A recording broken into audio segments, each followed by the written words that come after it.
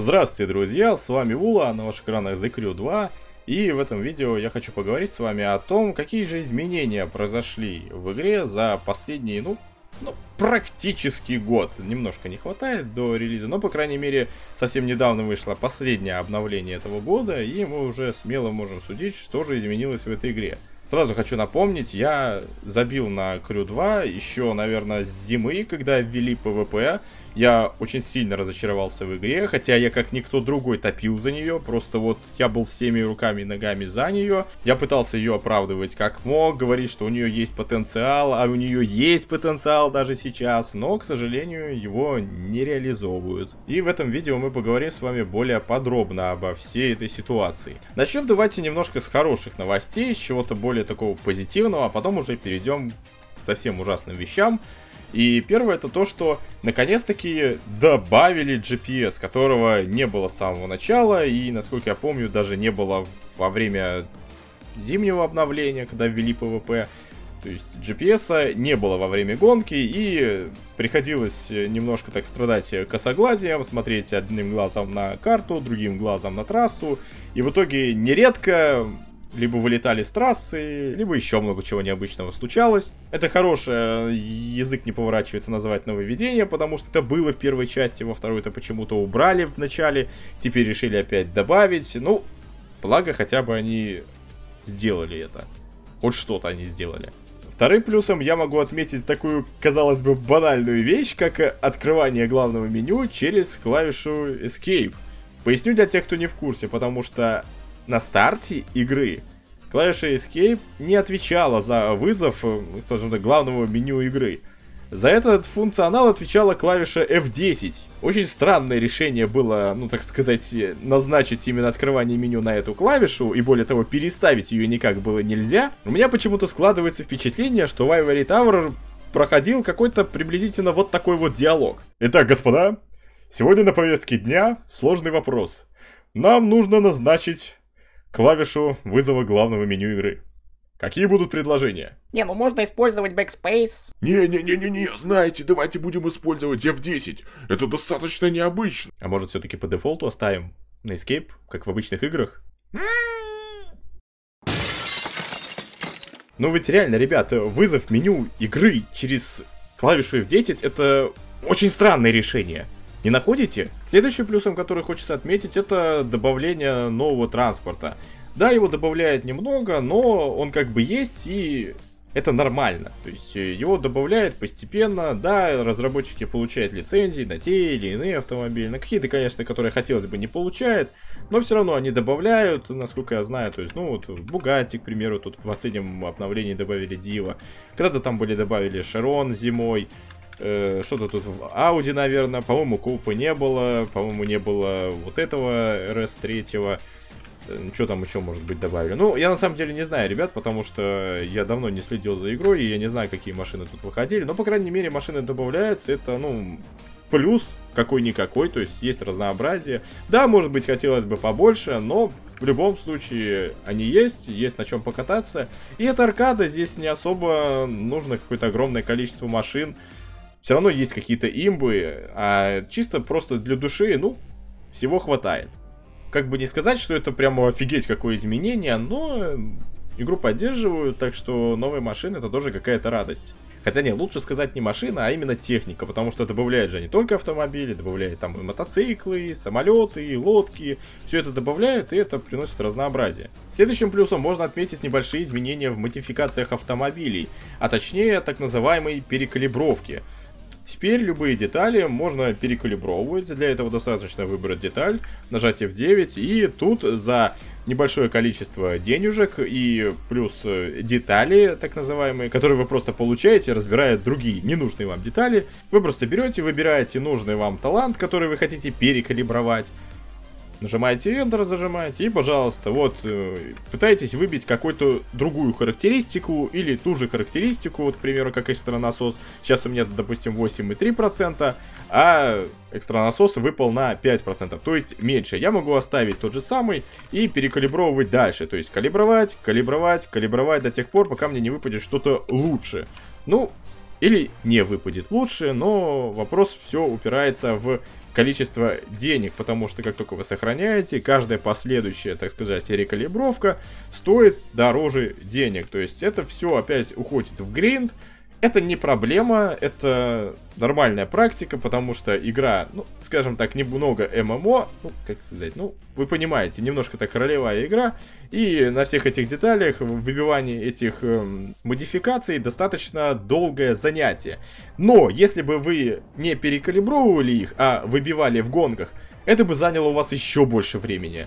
А так это, скажем так, наоборот, уменьшает гринд как бы странно это не звучало, это гринд, и при этом этот гринд уменьшает гринд. Другой гринд, который гринд гонок идет, в общем, гринд я сказал уже очень много раз, масло масляное. Вы поняли, это плюс, то, что ввели перекалибровку. Не надо долго париться, кататься на одних и тех же миссиях, особенно это касается дрифта, где вам надо выбивать э, разнообразные моды на увеличение икса, то есть, ну, для того, чтобы больше получать очков. Теперь вы можете просто повыбивать модов, выкидывать их, поразбирать и просто перекалибровать на нужные вам моды. Великолепное нововведение, я считаю, это большой прогресс. Следующим плюсом я отмечу введение так называемых новых режимов. То есть в оффроуде нам добавили были ховеркрафты, на которых я практически не катался. Вполне возможно, они как-то хороши, может быть, кому-то зайдут. Э, добавили, были еще дерби, в одном, по-моему, из первых обновлений я еще тогда играл, и, не, или во втором это добавили дерби, а в первом ховеркрафте, в общем, неважно.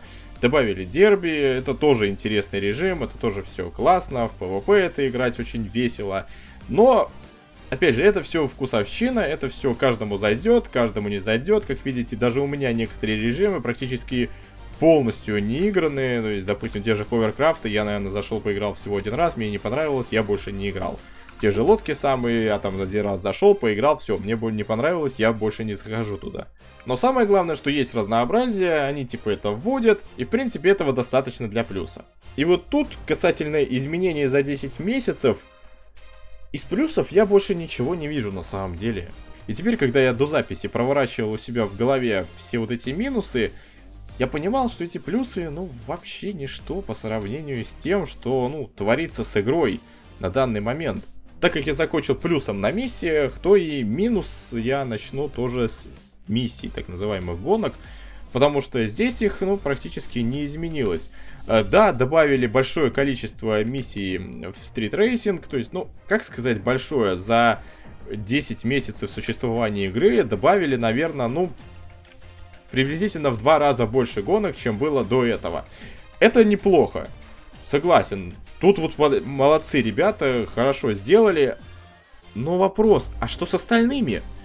Почему в остальные миссии не добавлять столько же, такое огромное количество гонок, чтобы было разнообразие?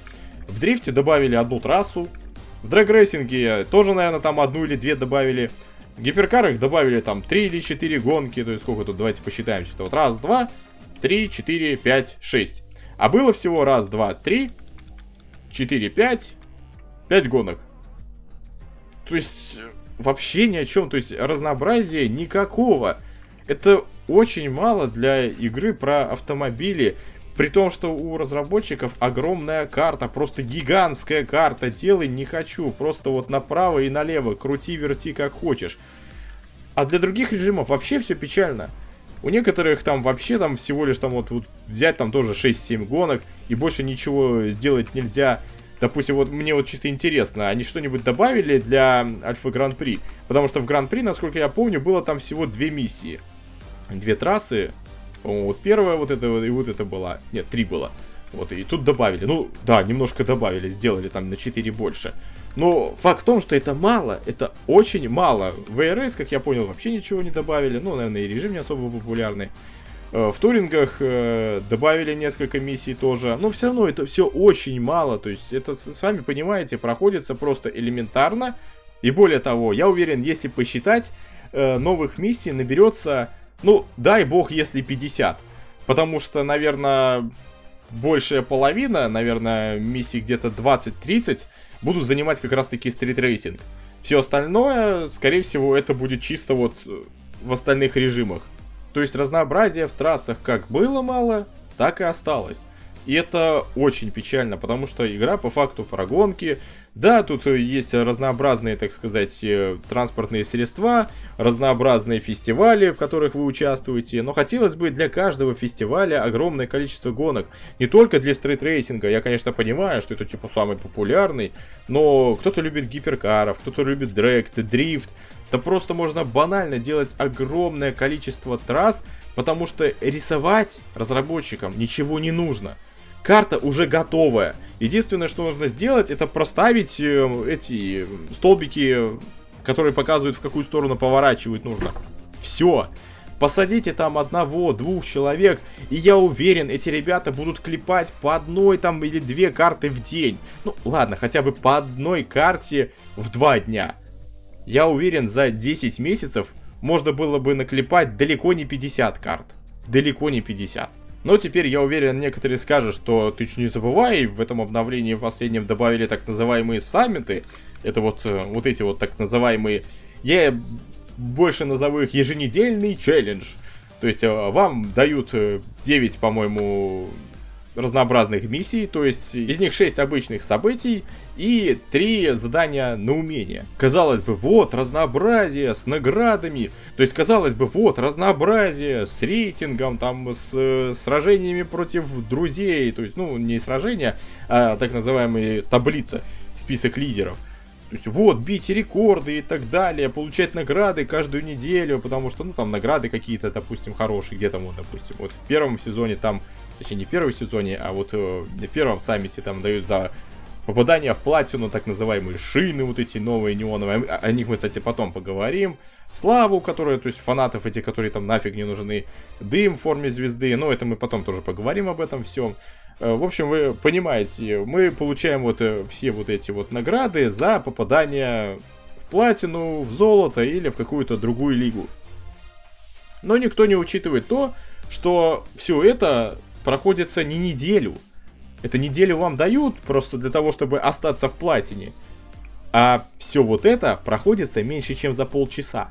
Но ладно, если бы это действительно было каким-то челленджем, так называемым скилл-тестом, с какими-то ограничениями. Я понимаю, что там написано, что типа вот там, допустим, в одних миссиях ограничений нет, в других надо играть на определенные техники, но я не про это. У саммита есть несколько серьезных минусов. Во-первых, в саммитах можно участвовать с друзьями. Соответственно, это на разнообразных гоночных событиях, то есть на стритрейсинге или там ралли-рейд и так далее, вы можете получить гораздо больше очков, просто потому что вы катаете с кем-то в команде, а соответственно у вас работает слепстрим, и вы получаете гораздо больше очков, просто потому что ставите лучшие рекорды. Второй минус это то, что вас заставляют играть на тех режимах, на которых вы, допустим, никогда не играли. Как, допустим, я. Вот у меня 39 тысяч очков на лодках, на которых я не ездил вообще. И я, в принципе, не смогу получить больше, просто потому что моя лодка больше не тянет. С одной стороны, можно сказать, что, ну, это тебя заставляет играть на этой технике, а с другой стороны, а я не хочу на ней играть. И, соответственно, тогда в чем скилл-тест? Так называемый, в чем челлендж? Какой мне смысл сражаться с э, какими-то другими игроками, у которых просто банально прокачана какая-то техника? Э, я в других режимах могу посоревноваться, но вот в этом режиме у меня просто нет шансов, потому что у меня даже техники такой нет прокачанной. В моем понимании, саммит, как я и сказал, должен был быть более скиллозависимым, так сказать, скилл-тестом, чтобы это был реально челлендж, чтобы каждое событие давались определенные условия, то есть давалась машина, всем, просто всем давалась одна и та же машина с одной и той же прокачкой, и каждый набирал бы очки вот по максимуму в зависимости от его скилла. В таком событии мог бы участвовать и новичок, и профи там, и задрот, и вообще кто угодно. Просто потому что всем бы давалась одинаковая машина с одинаковыми характеристиками, и при этом отменить игру в группе. Чтобы эти саммиты были только единоличными. Вот тогда это реально был бы челлендж и реально имел смысл бы бороться за платину, за награды. А в такой ситуации получается, что какие-то люди просто из-за того, что они в принципе не могут набрать нужное количество очков из-за отсутствия техники или из-за того, что другие игроки играют в дуо там или втроем, и они просто слипстримом нагоняют себя до максимальных скоростей, и обычные игроки просто не смогут набрать платину. Я, допустим, мне вот там немножко очков не хватает, 247, мне там перепройти пару миссий и все, я в принципе в платине. Просто, ну, неприлично себя хвалить, но, допустим, я скилловый. То есть мне это легко, но другим игрокам достаточно сложно будет влететь в платину, при этом не имея нужной техники, и они будут довольствоваться какими-то нищенскими наградами, которые, в принципе, они не смогут получить, просто потому, что им не дали возможности. Так что хоть и сами ты вроде как интересное нововведение, но реализовано из рук вон плохо. Следующим минусом я отмечу PvP. А точнее, минус в том, что оно не изменилось. Ровным счетом никак. Как и на момент введения его в игру, оно было отвратительным, оно было неправильно реализованным, так и сейчас оно таким же до сих пор и осталось, ничего не поменялось, оно такое же ужасное по нескольким причинам. Как минимум, во-первых, у вас всегда доступны два лобби, так называемых. То есть это стрит-рейсинг, он всегда есть, он никуда не девается. И второе лобби, которое меняется. То есть, допустим, один день это какие-то смешанные режимы, то есть там собранный дрифт, дрэк, там немного ралли-кросса, еще там ралли-рейда, еще там что-нибудь накидали. Следующий день там, допустим, только дерби. Или какая-нибудь там только другая ерунда. Таким образом, получается, вы не можете поиграть в какой-то, допустим, свой любимый режим. К примеру, я обожаю дрифт, и я могу поиграть в него только сегодня. Потому что вчера его не было. И только одну карту. Потому что здесь есть только одна карта для дрифта. Опять же, здесь три карты для стритрейсинга со столкновениями, парочка карт для гиперкаров и пошла. То есть сборная солянка, как я и сказал. А вот в стритрейсинге, там где огромное количество трасс э, для стритрейсинга, здесь есть еще для гиперкаров, по-моему, несколько миссий, да, здесь еще вот три миссии для гиперкаров. Но здесь отключены столкновения. Полностью отключены столкновения. И это самое ужасное, что только может быть. И кроме того, список трасс здесь не весь. Многих трасс здесь нет вообще. Как вы помните, в гиперкарах там было в самом начале трасс 6, потом 7 еще добавили. В PvP у нас только 3. Только 3. И это печаль. Это реально ужасно. По сравнению с первой частью, Crew 2 в плане PvP уступает просто вот по всем фронтам. Опять же, остаются такие же самые проблемы с сетевым подключением, потому что никаких серверов нету, все вы подключаетесь к какому-то человеку, соответственно, он вылетел, у вас игра паузится, он там вылетает, к примеру, вам меняет хоста, в это время стоите, ждете, потом едете дальше. И как я сказал, портит впечатление от игры то, что я не могу поиграть в те режимы или в те трассы, которые хочу. В первой части было реализовано просто, ну, не скажем, не идеально, но, по крайней мере, достаточно добротно. То есть вы заходите в лобби, там уже не важно, смешанные режимы, там и вот как здесь, не смешанные, просто одно лобби. Выбираете трассу, которую хотите, так же само делают противники, и вам рандомно из этих выбранных трасс выбирают какую-то одну. То есть по факту вам дают шанс покататься на той трассе, которую вы хотите. Но все зависит от рандома. Во второй же части вам не дают ровно счетом ни хрена. Вам просто дают вот, вот либо катайся на этом, либо иди в PvE. Нечего тебе тут делать. Не хочешь кататься, ну не катайся, ради бога. Так что PvP, я считаю, претерпел изменений ровным счетом никаких. Следующий минус касается деталей, а именно их разламывания так называемого, за которое вы будете получать так называемые новые детали, ну и просто освобождать свой инвентарь. И как это было тогда еще, когда я играл, так и до сих пор это осталось, вы разбираете по одной детали. Падла, разбирайся. Давай, быстрее.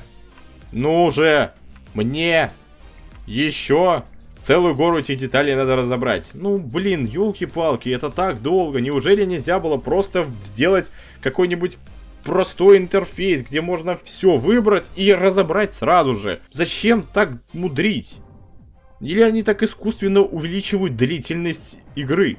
Ну и последнее, что я считаю на данный момент не самым удачным ходом, это введение так называемых атрибутов. Сейчас вы поймете, о чем я говорю. Это разнообразные детали, то есть э, новые шины, новый дым цветной. И казалось бы, это нормально, то есть есть разноцветные шины в реальности. Допустим, ну, вот всякие с неоновые шины, это тоже можно сделать. Разноцветный дым тоже есть. Конечно, есть. Но, мать его, ребята, не вот такой. Ну, блин, это просто... Ну, вы посмотрите на это, что это такое? Что за детский сад? Какие молнии? Ну, что это? Я понимаю еще, ладно, там э, обычный дым, типа вот э, какой-нибудь вот оранжевый, пожалуйста, вот включил, э, пожалуйста, и... Потому что это, это реальность. В реальности такое существует. На шины наносится специальный компонент, э, специальная смола, которая при нагревании вот выделяет такой вот э, густой дым цветной. Это существует в реальности. Но, ребят, при чем тут молнии? Причем тут дым в форме короны? Вы только посмотрите на это убожество, ну что за детский сад? У нас, я понимаю, что аркада, но зачем опускаться до такого уровня? Ну, блин, реально, это такая тупость. Шины, ладно, шины отлично выглядят, они прекрасные, это нормальное нововведение. Но дым! Блин, ребят, ну это просто зашквар. Я не знаю, как это по-другому описать.